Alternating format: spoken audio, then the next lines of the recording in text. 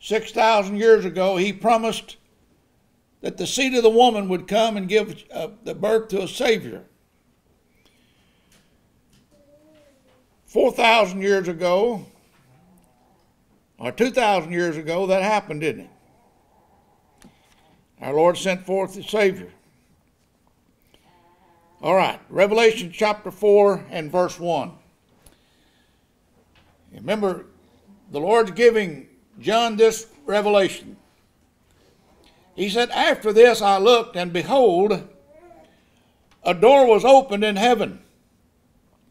And the first voice was, which I heard was as it were of a trumpet talking with me, which said, John, come up hither, and I will show thee things which must be hereafter. It's not a maybe so, it's a must. And immediately I was in the Spirit. And behold, a throne was set in heaven, and one sat on the throne. And he that sat was to look upon like a jasper and a sardine stone. There was a rainbow round about the throne, in sight like unto an emerald. And round about the throne were four and twenty seats. And upon the seats I saw four and twenty elders sitting clothed in white raiment, and they had on their heads crowns of gold. And out of the throne proceeded lightnings and thunderings and voices. There were seven lamps of fire burning before the throne, which were the seven spirits of God. And before the throne there was a great sea of glass, like unto crystal. And in the midst of the throne and round about the throne were four beasts full of eyes, before and behind. The first beast was like a lion, the second beast like a calf, and the third beast had the face as a man. The fourth beast was like a fine eagle. The four beasts had each of them six wings about him. And when Isaiah saw this, they were called seraphims. They were full of eyes within, and they rest not day and night, saying, Holy, holy, holy, Lord God Almighty which was and is and is to come. Isaiah said that with two that flew, they covered their face, two that covered their feet, and with two wings they did fly. Verse 9. And when the beast was give glory and honor and thanks to him that sat on the throne, who liveth forever and ever, the four and twenty elders fall down before him that sat on the throne, and they worship him that liveth forever and ever. And they cast, cast their crown before the throne of God, saying, Thou art worthy, O Lord, to receive glory and honor and power, for thou hast created all things, and for thy pleasure they are and were created. Now, text John was about to be shown the future of the world and the heavens. And he said there are some things which must be hereafter. That must part is what I want us to dwell on today. It is going to happen. So he said, John, get your phone ready. Get your camera ready. Get your camcorder, we used to say, ready. Because that's what we always used, wasn't it? Because I'm going to show you something. And I'm going to have you to reveal it to my people. But by the way, you remember a point which we will not be covering in our main part of our message. The Lord told finally, John said, Don't write anymore. You remember that? He said, That's all I want you to write. So uh, part of it remains unclear. But what John was about to see was not speculation. If you look down on your paper again at, at one verse, Revelations 1, verse 19, the Lord said to John, Write the things which thou hast seen, and the things which are, and the things which shall be hereafter, particularly the word shall. The same thing as must. It is going to be. Actually, in God's plan, it's already happened, already printed there that it will be. And we'll see it as it unfolds. John, what he saw, again, let me say, was not speculation, not like our weather forecast. Some years back, I was in the car, parts of town, had the radio on, and the weatherman said, No rain today. I just cut my wipers off then because I think that's rain It's on my windshield. By the way, they say a weatherman is 90% right 10% of the time. they do have modern means of knowing the weather's what sometimes headed our way, and we're grateful for that. But folk, what may happen with the weather doesn't always happen, does it? But for what God said about the earth and the heavens is going to happen, and that's why we need to live our life accordingly.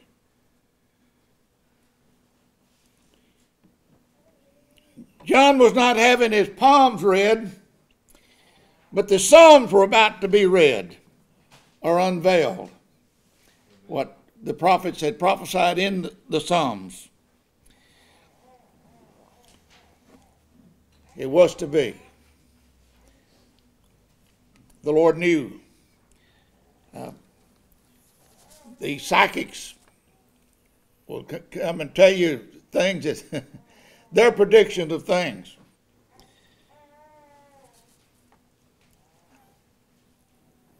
Uh, I have in my house where I answer the phone in the uh, the living area of the house I've got a little cartoon thing I cut out some years ago, and I've got it taped there. We had an old window air conditioning unit, and I've got it taped up there on it.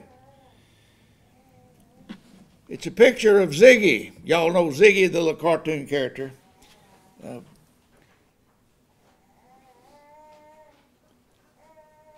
he said, uh, uh, he's on the phone talking, and he said, if you're really who you say you are, then you know my credit card number already.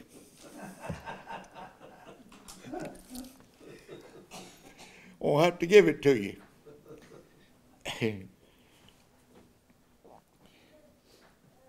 but a lot of things in life are uncertain, aren't they? Just as uncertain as it could be. Linda and I stopped the other day up there where they'd had that bad accident out of Mount Enterprise for those two uh, ladies, 33 and 34, life was snuffed out. They were traveling up the way, and in a second, as they were meeting this 18 wheeler, the left wheel on the front, on the driver's, on the front part of the truck blew out. And it pulled them over directly into their SUV. It exploded. And all that's left there, we saw a burnt shoe the other day when we stopped by there. Folk, in a split second, they're here, and the next moment, they're gone. Folk, that's how life is. That's why James said life is but a vapor that appeareth for a little time and then vanishes away. We're all here just for a short time. A lot of things in life, though, still are uncertain. Uh, they said the stock market took a big fall this week. I can't afford to invest much in the stock market, but uh, I'd probably be watching it. but the paper said that uh, they were a little concerned because the stock market took a big loss. But if someone actually knew what he was going to do, they'd get rich, couldn't they? But they don't know. Yeah. Sometimes maybe they can guess. But I think back over my life and I look at the fads of today. And I would not have thought of the fads as things turned out back when I was a young man. Rock music and even still rap music It's not music to me, but that's what they call it. Would you think it was be that predominant as it is today? No, sir. And I see something, and folk, if, if you have one, don't take offense to it, because Brother Bobby got his while he was in war, but tattoos. I see tattoos on everybody wherever I go, and folk, you shouldn't mar the body up that God gave you. But if you have, then the Lord will forgive you if you ask Him. but I wouldn't mar my body up to start with, but it's a fad. I see signs wherever I go, tattoos given here. But who would have thought that years back? Now look at the clothes that people wear. I see these folk now with they got pants on, they got holes cut all in them. And it looked like they'd been thrown across the chicken coop for about a year and picked up and sold for a bunch of money. Can you believe that the fad we live in? I mean, it's a fad. If you're going to get with a program, you may as well. But some of these clothes, I don't know how some of them get in. I look at them, I said, they're going to tear up before they get them off. But think about that. The point I'm trying to make is that things are always changing, aren't they? But folk, God's plan doesn't change. It's going to be exactly as the scripture tells us it's going to be. There are some things we can know. And God was about to show John these things. And John was going to show us. First thing, we know we all must leave this old earth. I heard that fellow say to a little boy the other day, Son, don't you want to go to heaven? Yeah, I want to go to heaven, but not, I'm not getting in line. You got to die to get there. what that little boy's answer. He, he wasn't ready to go to heaven because he had to die to get there. If you think about that a moment, that's true with us, isn't it? Bible tells us all of us are going to die. Nature shows us, doesn't it? We should all then prepare for it.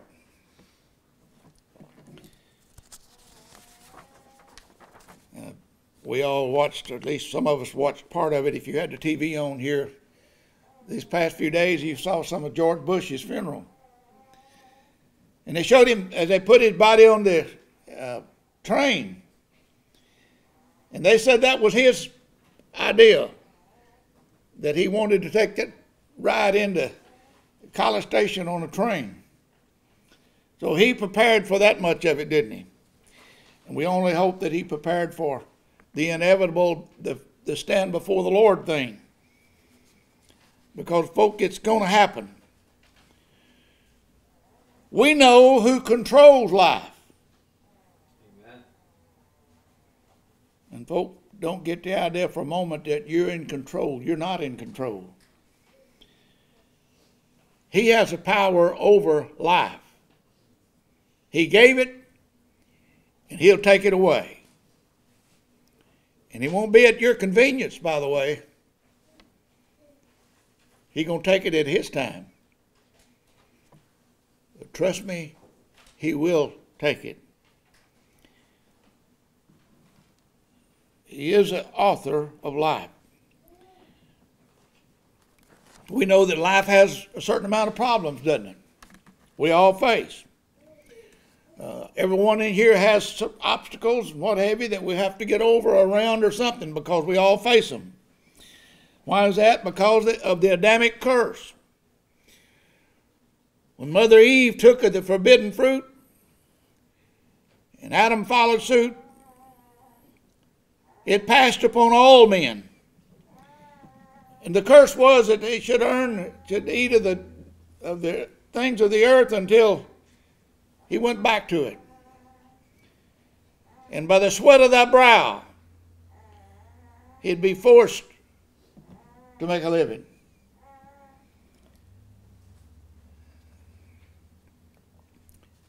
But we do have problems. All of us, we will have them. But the best part about it, we have someone to help us with our problems. And again, that's the author of life. We know that the gospel, the Bible tells us, is going to be preached unto all the world, and then shall the end come. Oh, God loves sinners, doesn't He? That's our message, that God still loves sinners. But He's provided the sacrifice in the person of His only begotten Son. We know that our Lord is coming back to receive us unto Himself. We heard in this morning's Sunday school class, John 14, where the Lord promised, He said, I go and prepare a place for you. And if I go and prepare a place for you, I'll come again and receive you unto myself, that where I am, ye may be also. We know that that is a fact, that Jesus is coming. Nothing can stop it, folk. We don't know the date, do we? The Lord warns us about setting dates. But I can tell you what time it's going to be got your attention, didn't it? It was five o'clock somewhere on the earth because somewhere around the earth we got a cycle going on, hadn't we?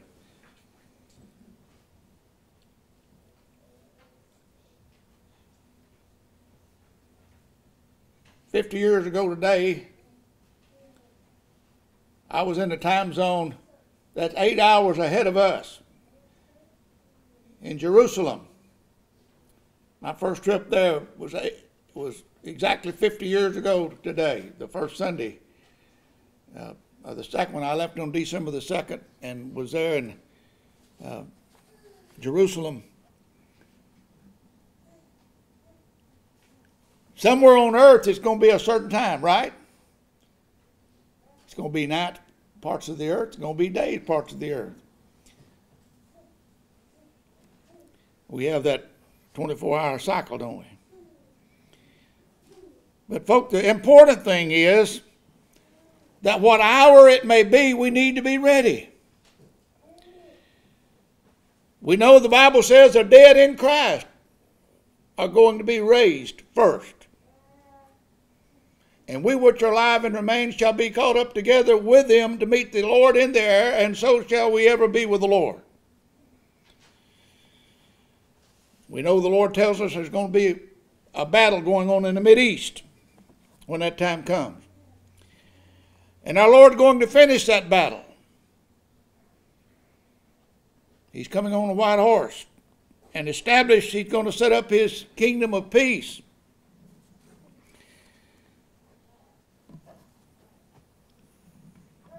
He's going to have us to rule and reign with him for 1,000 years, which is called the millennial reign. And the scripture says there'll be peace on the earth. Now, folks, we're talking about not talking about heaven in the heavens, we're talking about on the earth. There's going to be peace on the earth such as the world has never known for 1,000 years. But then John tells us that when the thousand years is over, he saw that great white throne, and those that were lost, those that didn't that missed out on the first resurrection, are going to stand before that great white throne because their name's not written in the Lamb's book of life. And then the heavens and the earth pass away. And that's when the eternal of the heavens began. John said, And I saw a new heaven and a new earth. For the first heaven and the first earth were passed away, and there was no more sea. And I, John, saw the holy city, New Jerusalem, coming down from God, prepared as a bride adorned for her husband. That's what John saw. God showed it to him. And, folk, in case you hadn't figured it out, we've got better things to come. We're here just a little while. We need to make the most of it while we're here. And my prayer is always that the Lord will take and use me as He would as an instrument in His hand to proclaim His word.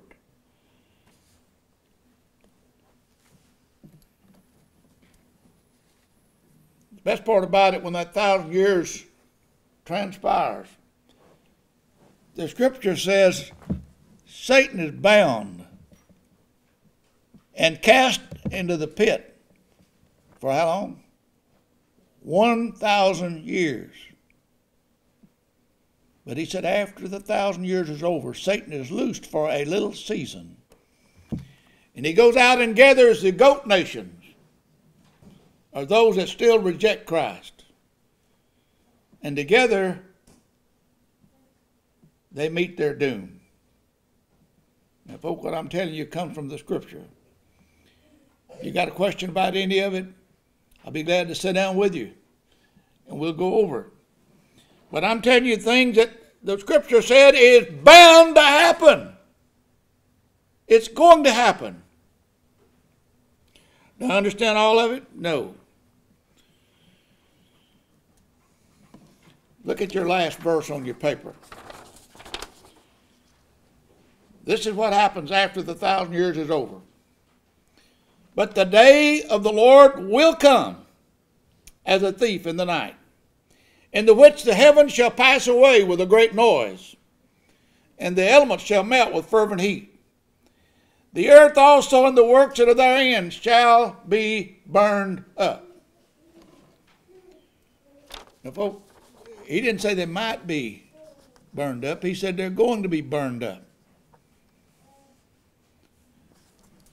That means whatever material thing that you put so much pride in whatever you're in, whatever you got materially that you, you treasure, can't take it with you. Impossible.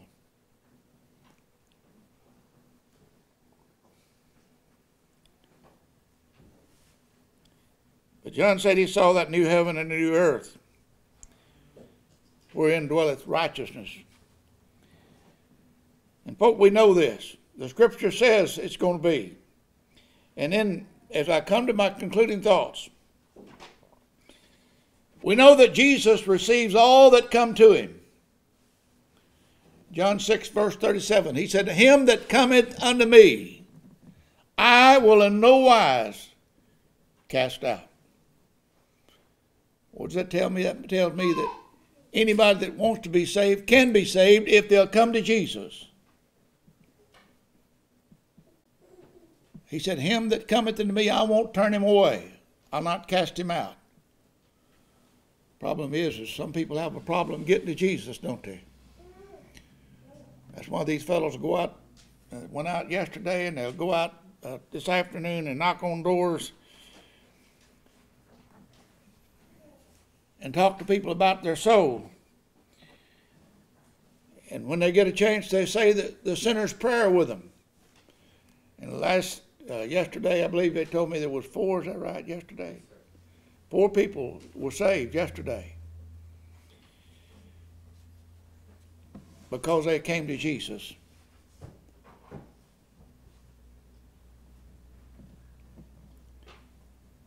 Well, the Lord saves whomever will come to Him. And that being true. The title of our message again, our actions should be based on what we know. Let's act on what we know.